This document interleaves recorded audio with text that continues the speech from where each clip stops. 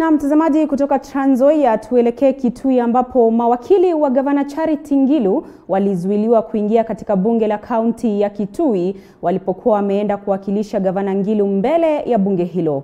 Hata hivyo, Ngilu amekashifu tukio hilo kama anavyoarifu mwanahabari wetu Paul Kirobi. Ndivyo hali ilivyokuwa nje ya bunge la kaunti ya Kitui. I mean, no one gets in before we go in because we are invited. Mawakili wa gavana Charity Ngilu wakizuiliwa kuingia bungeni na kufurushwa nje. Mawakili hawa walikuwa hapa kuwakilisha gavana Ngilu baada ya gavana Ngilu kutakiwa kufika mbele ya bunge hilo. Gavana wa Kitui Charity Ngilu alikosa kufika mbele ya bunge la kaunti binafsi ili kuhojiwa kuhusu madai yanayomkabili.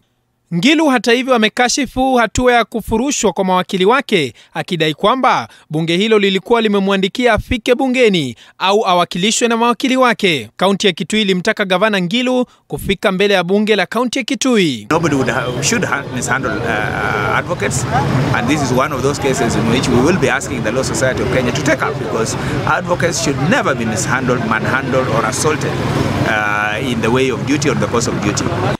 Mahakama ilikuwa imesitisha mjadala wa kumbandua gavana Ngilu, lakini wawakilishi wa wadi wanasisitiza bado watambandua gavana Ngilu. motion have been uh, moved.